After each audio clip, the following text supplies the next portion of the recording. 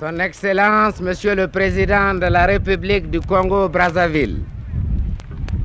Son Excellence, Monsieur le Président de la République du Mali et camarade président du Comité national de défense de la Révolution. Chers hôtes distingués, camarades, j'éprouve à plusieurs titres l'honneur de la mission qui m'échoit aujourd'hui cet éminent privilège d'adresser à Monsieur le Président de la République du Congo-Brazzaville, Son Excellence Monsieur Alphonse Massamba Deba,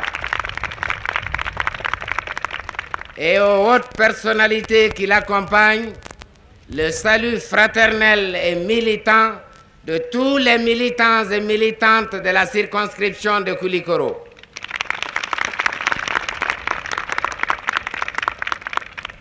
La signification de votre visite en République du Mali, Monsieur le Président, constitue en elle-même un motif d'intérêt élevé.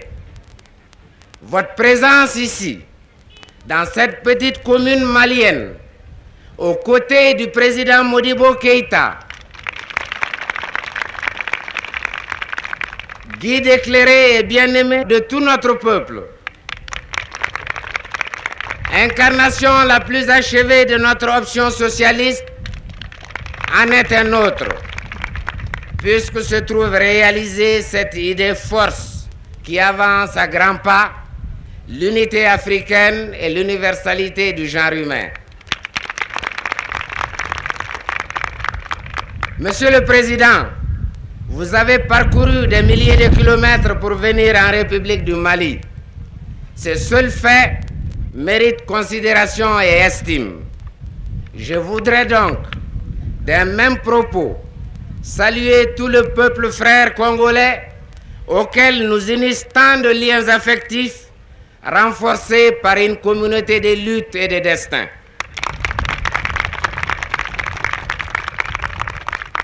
Oui, Monsieur le Président, nous avons suivi avec beaucoup d'intérêt la lutte héroïque de libération nationale de votre peuple qui, après de, dures épreuves, vous a porté au pouvoir et décidé de construire une société socialiste.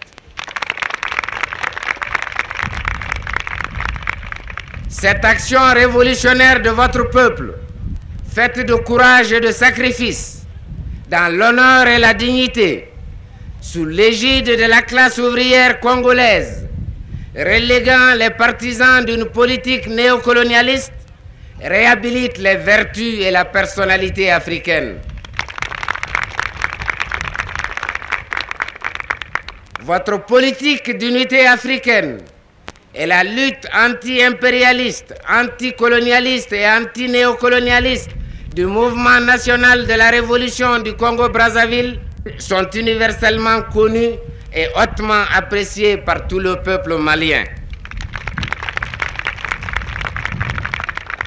Des voix plus autorisées vous l'ont dit et vous le rediront encore pendant votre séjour dans notre pays. Je voudrais simplement vous dire que les victoires que vous remportez au Congo-Brazzaville, nous les considérons nôtres et en considération de votre exceptionnelle personnalité dans l'œuvre accomplie, de l'audience qu'elle a su acquérir sur le plan africain et international, et aussi de l'attachement militant que nous portons à votre peuple, nous vous manifestons toute notre joie et l'honneur que nous ressentons à vous accueillir aujourd'hui à Kudikoro.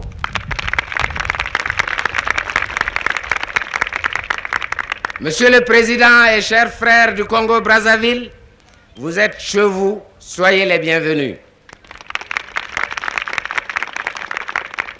Vous venez au Mali à un moment où notre peuple est en train de vivre une époque extrêmement glorieuse de son histoire. Après sept années d'indépendance nationale, de graves contradictions ont apparu au sein de notre société. Dans un puissant mouvement révolutionnaire, les organisations démocratiques, les larges masses populaires et toutes les forces vives du pays sont indissolublement unies sous la bannière du Comité national de défense de la Révolution et de son président, le camarade Modibo, pour l'assainissement et le redressement des organes du parti et de l'État. Notre peuple lutte acharnement et consent des sacrifices de tous ordres, non seulement pour consolider les acquis de sa révolution socialiste et renforcer son indépendance nationale en éliminant toutes les contradictions, mais encore pour la liberté et l'indépendance de tous les peuples et la paix du monde entier.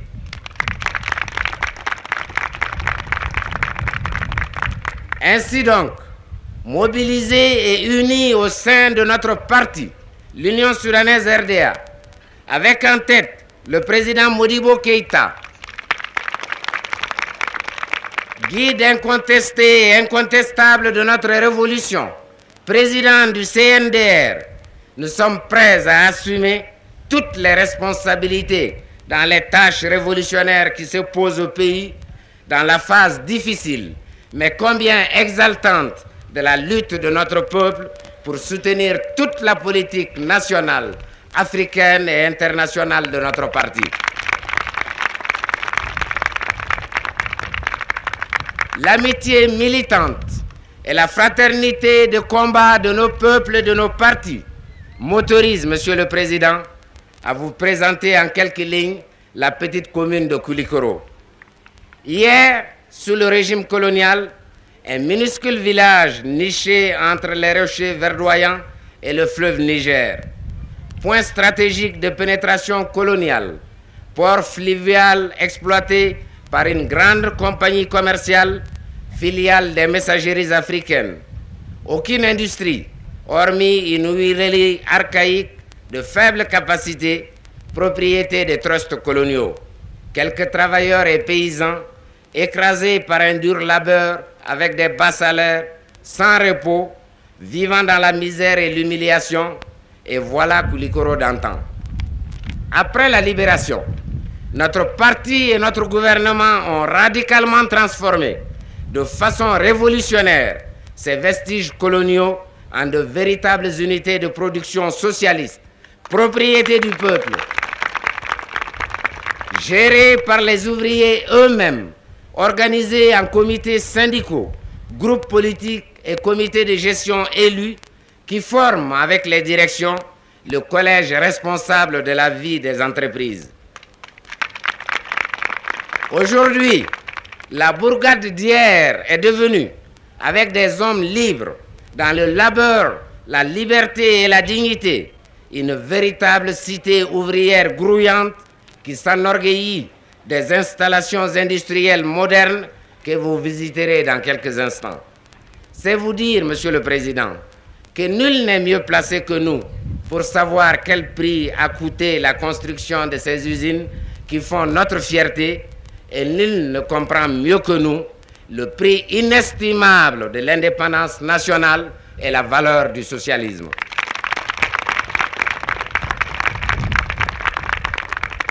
Notre capacité de lutte et de résistance grandit de jour en jour et nous saisissons clairement les perspectives lumineuses qui s'inscrivent dans les impératifs du combat de notre peuple pour son émancipation sa prospérité, son bien-être.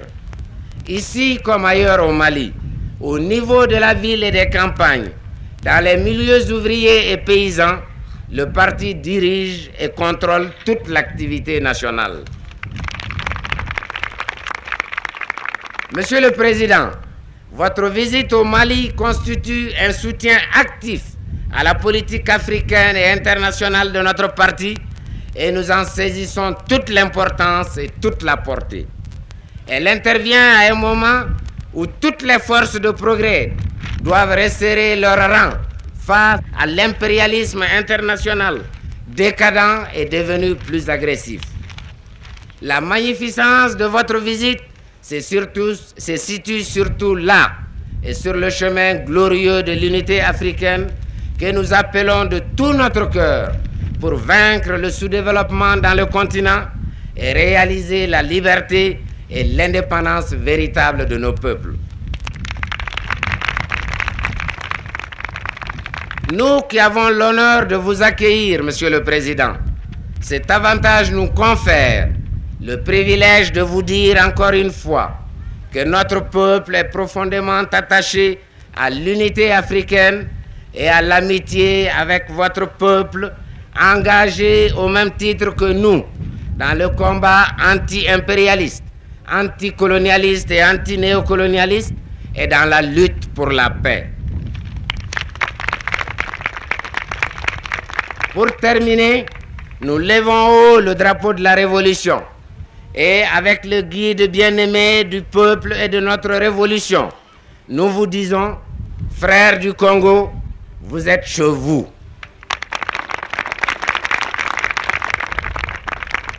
Vive la République du Congo-Brazzaville et le président Massamba Deba.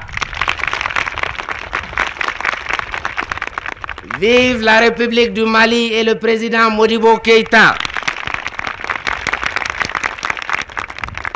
Vive l'amitié maliano-congolaise.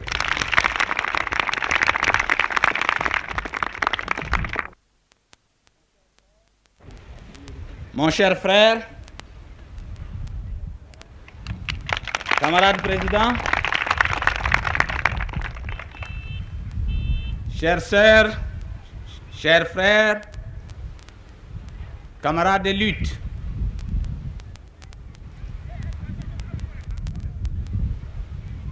notre visite au Mali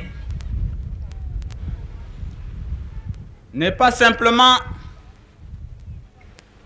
une visite d'amitié. Notre visite va plus loin que cela.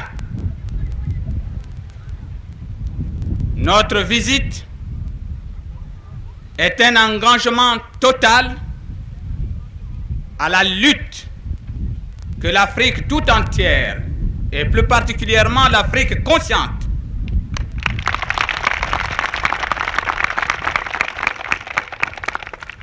veut livrer contre le sous-développement et à travers ce sous-développement contre celui qui le soutient, à savoir l'impérialisme.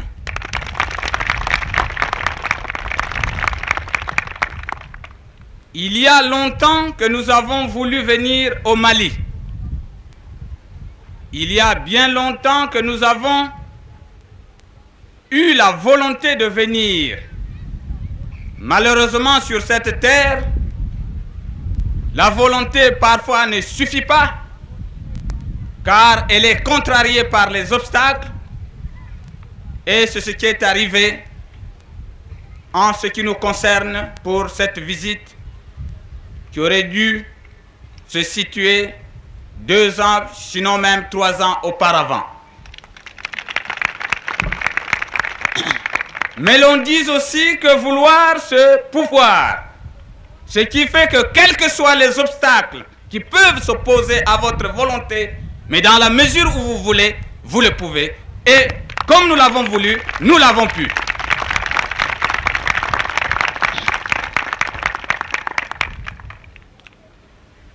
Je crois que cette considération vaut aussi pour l'analyse que nous devons faire de notre action.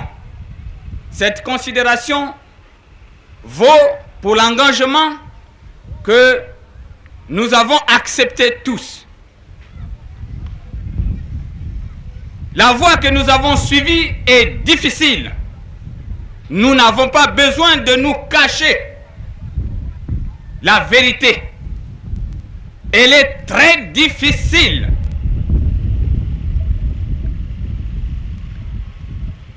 C'est une voie dans laquelle ne s'engagent que des hommes convaincus, que des hommes courageux.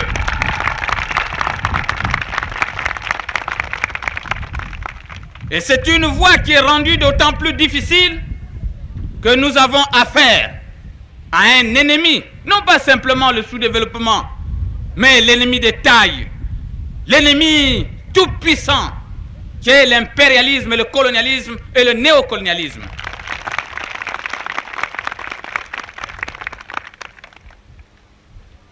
Mais celui qui recule devant les difficultés est un lâche.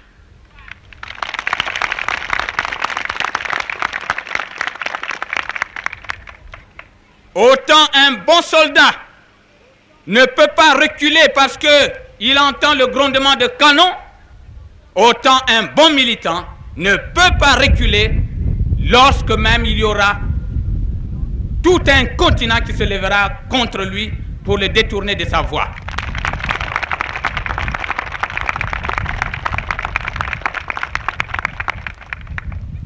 C'est ce que nous avons constaté dans l'action du peuple malien. Le peuple malien s'est trouvé en face des contrariétés, en face des oppositions, en face des obstacles. Le peuple malien a jusqu'ici tenu haut le drapeau de la révolution.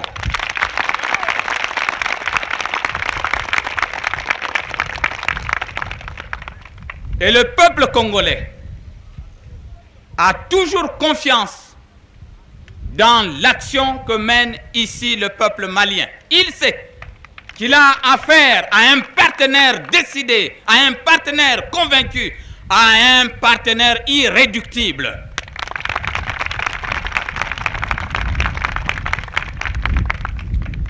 Notre visite ici n'a pas d'autre signification celle de vous apporter le témoignage de la solidarité agissante du peuple congolais tout entier et de son parti, le Mouvement national de la Révolution.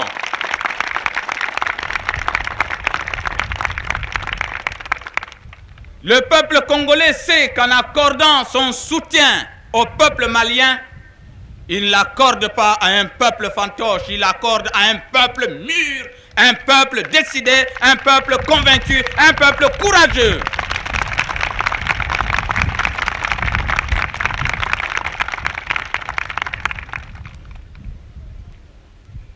Nous souhaitons que l'Afrique tout entière puisse être peuplée de peuples qui soient aussi engagés que l'est le peuple malien. Nous ne voulons pas dire que dans les autres peuples, il n'y a pas une volonté de libération. Nous savons simplement que dans beaucoup de peuples, et c'est ce qui se passe actuellement dans les peuples aujourd'hui sous domination portugaise, ou même sous domination de ce qu'on est appelé, de ce qu'on est arrivé à appeler les impérialistes africains et qui s'appellent les Sud-Africains. Nous savons que dans ces peuples qui n'ont pas encore, si vous voulez, manifesté d'une manière éclatante comme le fait l'Afrique consciente, nous savons qu'au sein de ces peuples, il y a des forces de progrès qui mijotent, qui grondent sourdement et qui un jour ébranleront, mais d'une manière ferme, les forces du mal qui les soutiennent encore dans l'esclavage. C'est à cause précisément de ces camarades qui sont encore dans des conditions d'humiliation. C'est à cause justement de ces camarades qui ne se sont pas encore libérés et de ceux qui ont accepté une sorte de liberté conditionnelle une certaine liberté, une certaine indépendance de façade, une certaine indépendance entretenue. À cause de tout ce peuple, que l'engagement que le peuple malien a pris doit être sauvegardé, doit être enrichi, doit être encouragé. Le peuple congolais, pour sa modeste part, veut participer au mouvement. Le peuple congolais, pour sa part, essaye, se trouvant cependant dans une situation extrêmement difficile comme vous devez la concevoir, essaye de suivre l'exemple du peuple malien qui, lui, est engagé dans la lutte depuis très longtemps. Ce n'est pas d'hier que le peuple malien a accepté la lutte. L'on peut dire même que le peuple malien a accepté la lutte dès l'origine.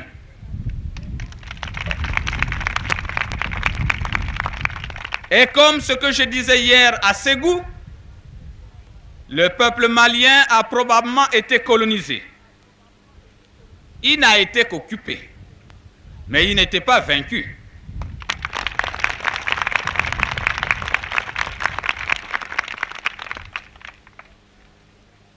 Chers frères, chères sœurs, je reviens sur ce que je disais tout à l'heure. Le chemin que nous avons choisi est difficile. Nous ne devons pas nous en cacher. Mais ce sont les hommes courageux qui acceptent de lutter. Et vous êtes des hommes courageux. Mais dans la lutte, il faut un guide. Et nous devons vous féliciter d'avoir eu à choisir réellement ce qui devait être un guide dont la lucidité, dont le dynamisme, dont la clairvoyance ont été complètement appréciés au-delà des frontières maliennes. Et ce guide qui se trouve être mon frère au sens strict du mot. Pourquoi voulez-vous que je ne sois pas de la famille de mon frère Modibo Keïta?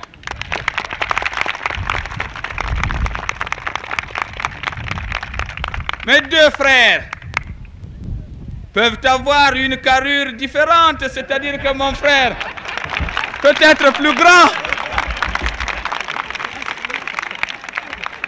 Et moi, je peux être petit de taille.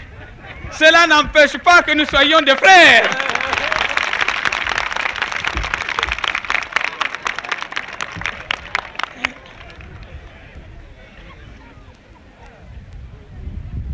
S'il y a des gens qui veulent contester notre filiation de sang, nos liens de sang, est-ce qu'ils vont pouvoir contester les autres liens?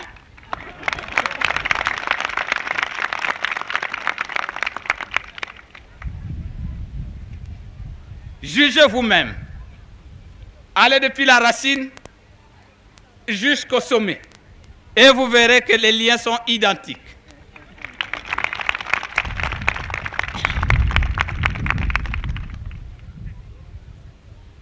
D'aucuns me diront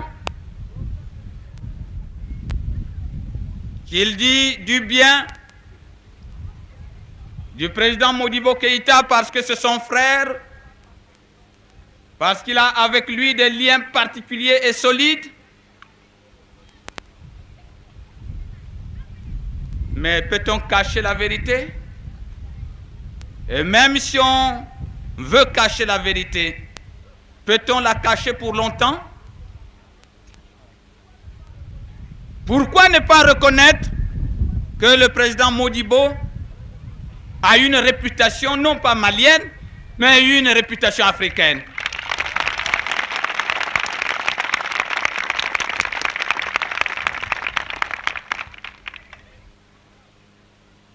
Voilà pourtant une vérité qu'on ne peut pas cacher. Si d'aucuns ne voudraient pas croire à ce que je disais, parce que c'était mon frère. C'est vous dire que dans la lutte que vous avez engagée, vous n'aurez que des succès. Parce qu'un parti bien organisé, un parti qui se trouve justement avoir à sa tête un homme qui sache le guider dans cette tempête que soulève l'impérialisme, vous ne pouvez aller que de progrès en progrès.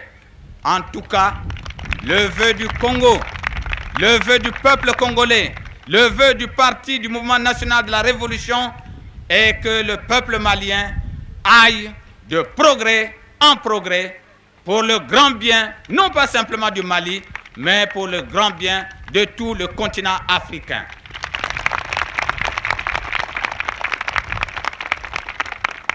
Je vais maintenant m'acquitter d'un devoir, celui qui m'a chargé, le peuple congolais. Le peuple congolais et son parti m'ont demandé de vous transmettre leurs salutations fraternelles. M'ont demandé de vous assurer de leur solidarité agissante. M'ont demandé de vous dire qu'ils suivent attentivement votre expérience et que la sympathie qu'ils portent à cette expérience est très forte très grande et très sincère.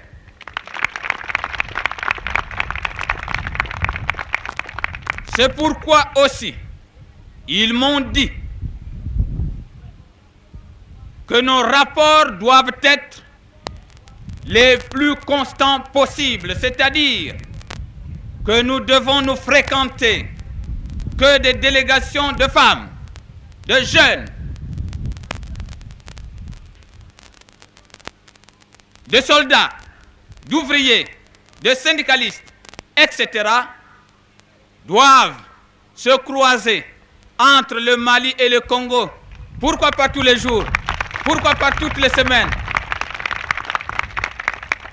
Ainsi, dans cette lutte que nous avons acceptée tous, nous pouvons nous inspirer les uns des autres Tant et si vrai que l'expérience des uns peut profiter aux autres, et vice-versa, tant et si vrai que celui qui va seul dans son chemin a le risque de se tromper, tandis que ceux qui vont à deux ou à trois n'ont pas le risque de se tromper, parce que quand l'un voudra se tromper, l'autre dira à son ami, non mais ce n'est pas, pas la bonne voie, voilà la bonne.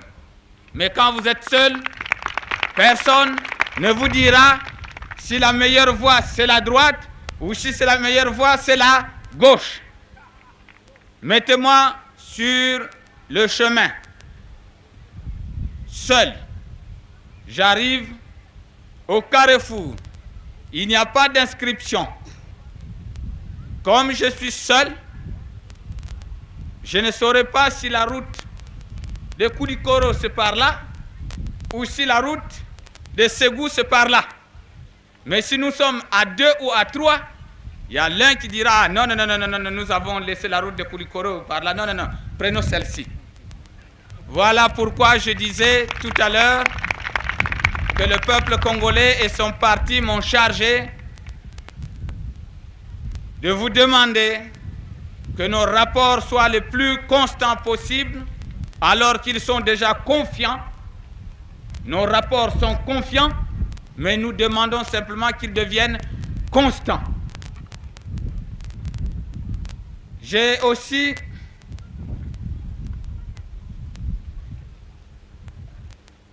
une autre question à soulever. l'on m'a dit que la population de Koulikoro ne veut pas que le président Modibo Keïta aille au Congo.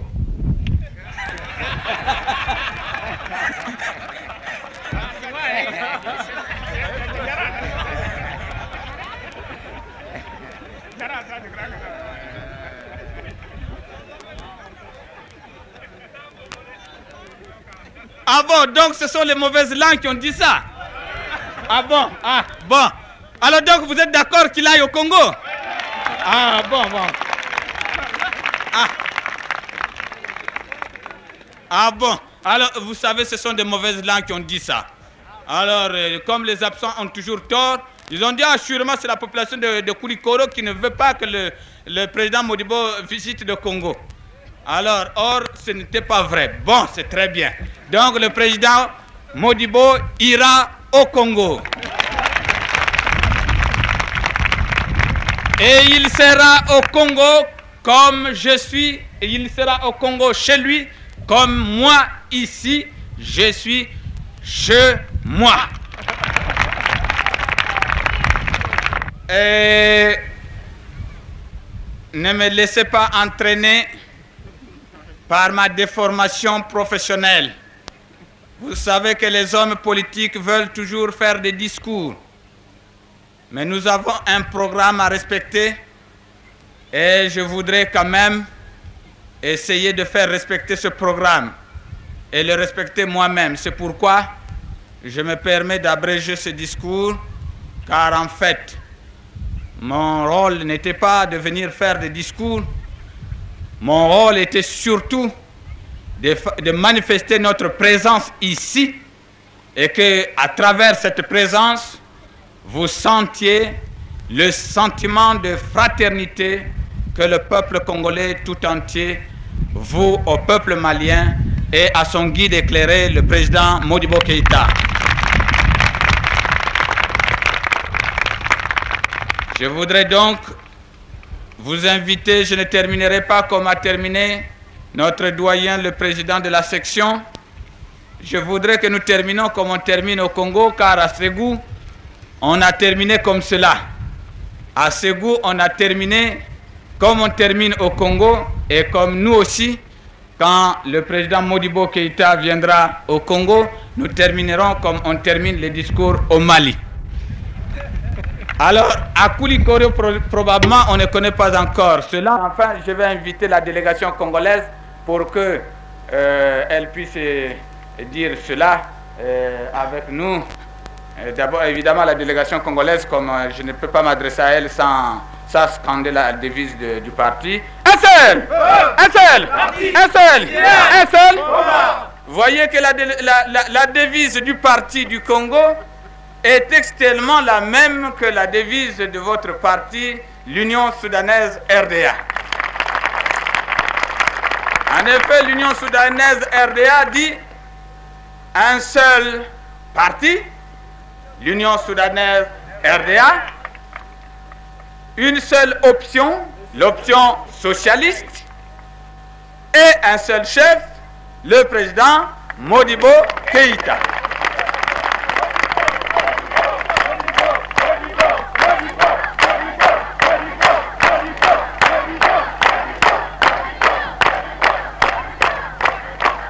Alors, vous avez vu donc l'identité. Nous nous disons un seul peuple, un seul parti, un seul idéal, c'est-à-dire l'option que nous avons prise, l'option socialiste, et un seul combat, mais le combat que vous livrez vous-même contre l'impérialisme, le colonialisme et le néocolonialisme. Et à la fin, naturellement, nous disons Mali oye! oye! Mali oye! oye! Mali oye! oye! Modibo Keita oye! oye! Modibo Keita oye! oye! Révolution oye! oye! Révolution oye! oye! Bassamba débat oye! oye! Le Congo oye! oye! La révolution oye! oye!